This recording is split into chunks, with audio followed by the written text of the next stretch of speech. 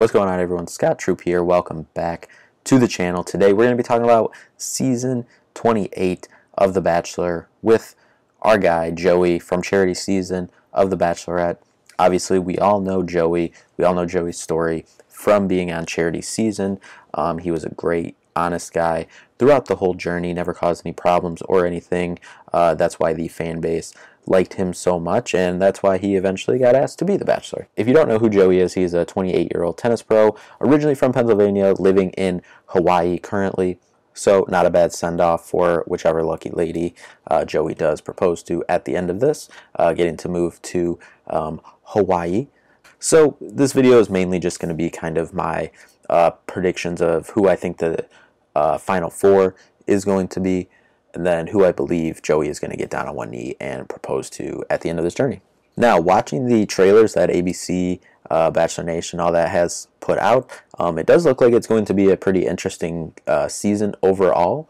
Um, and I think a season with uh, not as much drama, which um, I believe the fan base likes overall. It seemed like Zach's season did not have a lot of drama either, which I think was very well uh, received uh, throughout the fan base. I think it was more about you know what the show's supposed to be about. In theory it's supposed to be about you know finding finding your person and eventually getting uh, down on one knee and proposing to someone. Obviously you're going to have drama you know throughout the process but it was toned down especially compared to you know a couple the past couple seasons prior uh, both bachelor and bachelorette uh, this season looks uh, looks like the same. Uh, it does look like obviously there will be some drama as we just mentioned, but uh, nothing over the top crazy. And then the end of uh, the little two two and a half minute trailer that they did put out, uh, it does look like kind of an unprecedented ending. I know obviously that's kind of the joke, you know, most dramatic season ever.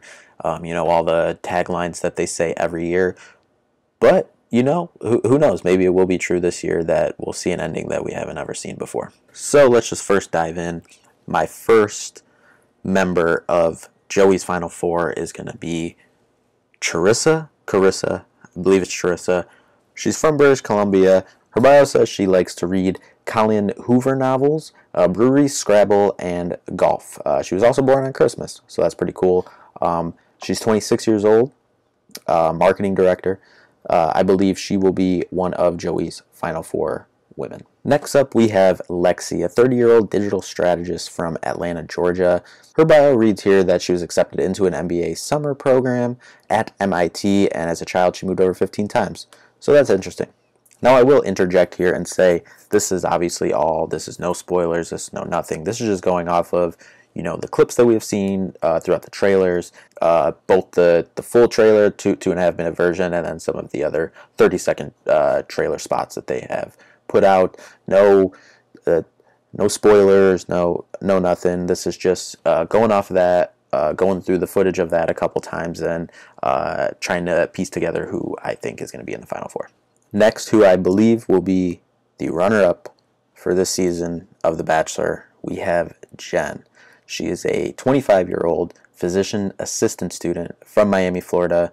Her bio reads she loves paddleboarding, reading, uh, Shawn Mendes music, and she's also bilingual.